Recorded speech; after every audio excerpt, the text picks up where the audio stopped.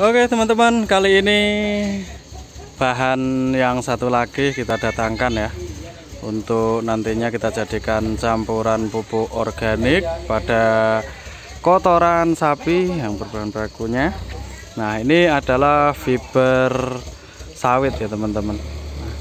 Jadi fiber sawit ini nantinya akan menggantikan jangkos sehingga ini nanti bisa uh, kita fungsikan sebagai penggembur tanahnya teman-teman. Dan tentunya di saat pelapukan akan menjadi pupuk juga yang organik. Ya teman-teman ini adalah penurunannya. Oh! Penurunannya kita saksikan ya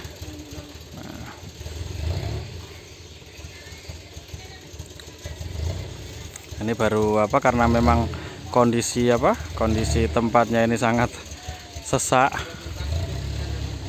Sangat sesak padat jadi agak lama ya teman-teman. Terus. Terus. Nah, ini teman-teman.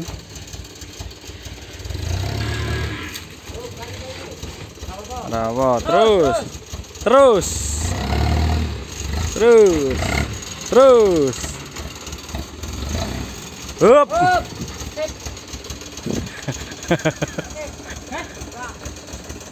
nah.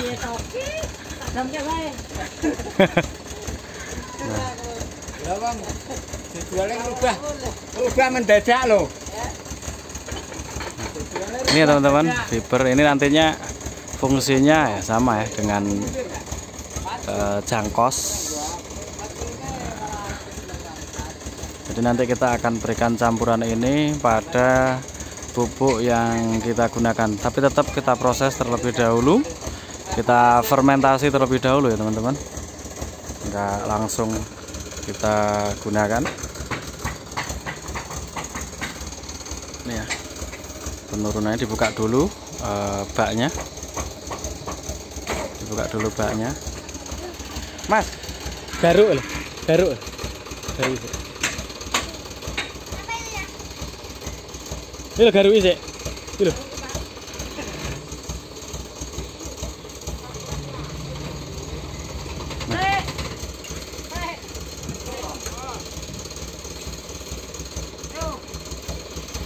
Oke teman-teman, langsung didam saja ya, seperti itu.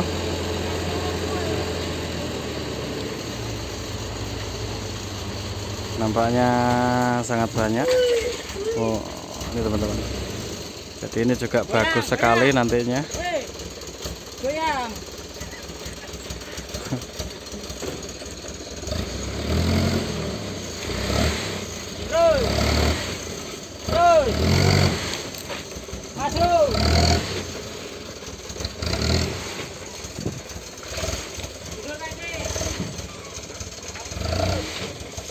sangat banyak ya teman-teman.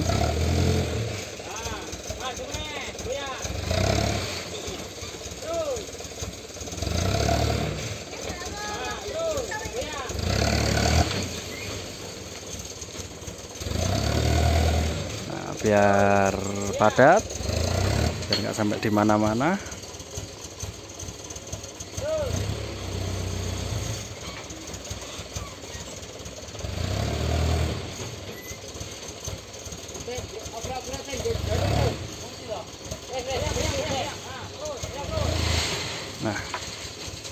banyak sekali ya teman-teman. Mas kabel, kabel, mundur. Wes, donke.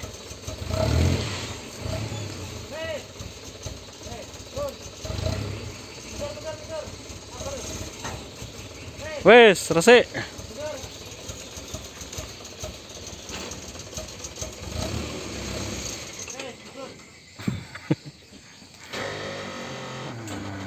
Selesai ya teman-teman. Ini uh, ini yang fiber ya teman-teman ya. Nah. Fiber dari pemrosesan uh, kelapa sawit ya. Ini dari kulitnya. Nah, sebagai kulitnya. Ini sama nantinya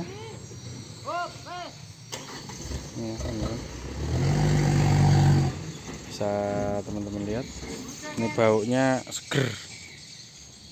Banyak sekali ya. Banyak sekali tumpuannya. Ini nanti kita akan gunakan sebagai campuran ya fiber ini. Sehingga pupuknya tentunya akan menambah kualitasnya. Teman-teman oke selanjutnya eh, nanti videonya akan kita pada saat pemrosesannya seperti apa kita akan lanjutkan. Oke teman-teman ya terima kasih. Salam marit salam brilian farm